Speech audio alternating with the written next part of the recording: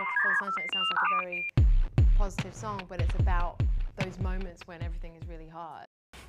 I want to talk a bit about one uh, song in particular, which is kind of weird that it's released here as a single because it has been out for like three years. I know, yeah. How does that make you feel to be in Europe and talking about that song again?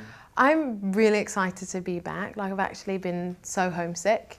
Um, you know, I've, I've loved America, but I've, I've, you know, and I've written a whole nother album and everything. But uh, when I when I came to release the new material, um, the the label here and the radio here they wanted to play Pocketful of Sunshine, which was my hit that I had in America, and I never got a chance to release it here. So I mean, it's it's it's really fun to share that song, and I've been singing it live. Like this morning, I sang it live on radio and um, stripped it down and did it just with the guitar, and uh, you know, it, it was nice to share that song with with people.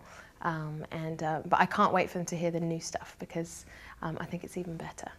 Can you describe in short what, what Pocketful of Sunshine is about? Pocketful of Sunshine is just about finding an escape, and I think we all need an escape in, in life. I mean, we all we all need to have let our hair down and go and party, or be entertained, or you know, find something that feels like it takes us to another place. Sometimes.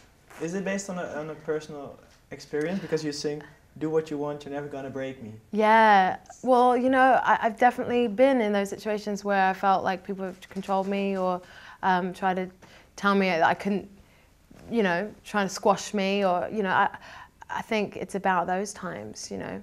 Um, again, Pocketful of Sunshine, Pocketful of Sunshine, it sounds like a very positive song, but it's about those moments when everything is really hard. And I've definitely had my fair share of those times.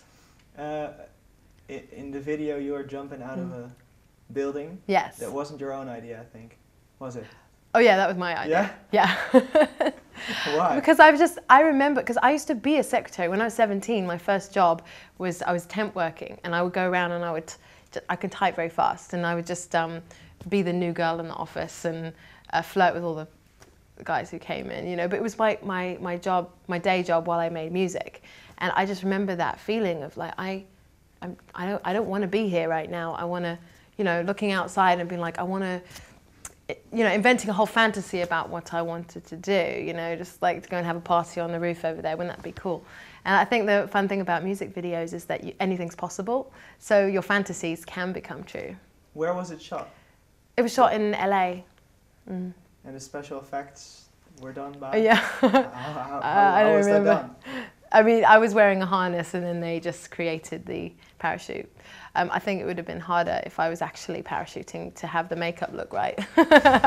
So you were just jumping in front of a green screen? Yeah, yeah. Like that. Okay. You can tell. Yeah. Um, It's fantasy. Yeah, yeah. It, I hope so. Yeah, I don't hope so. Would be cool. Would be cool if that was reality, but. it would. Uh, um, My mum's the one who skydives. She, she's, she runs an amazing charity called Global Angels, and she actually skydived at the height of Everest. She's much braver than me. have you ever done such a thing? No. You never jumped. I'd like to. I actually always wanted to, but then I found out, I don't know, I've heard some horrible stories about it, so I don't want to now. Um, well, you said you're really looking forward to people hearing the new the new stuff. What what will your summer be like?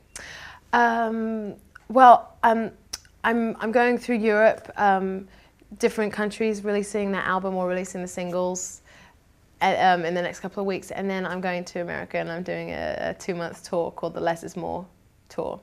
And then I'm coming back here and doing a tour. How far ahead are you planning? Is that like a- year or half a year? It's very, it's more, you know, I plan, I've got like my, you know, my five year plans, my two-year plans, my, you know, and I've got so much music, you know, it's like I could keep, I just like, I could keep, I just want to find ways to keep bringing it out, you know, and not stop.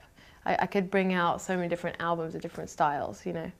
It's, uh, I can't stop writing, it's very addictive. That five-year plan. Uh, last Yeah. question. I want to know about that. I What does don't- that look like? Honestly, I, I'm really not sure at this point. Two year then?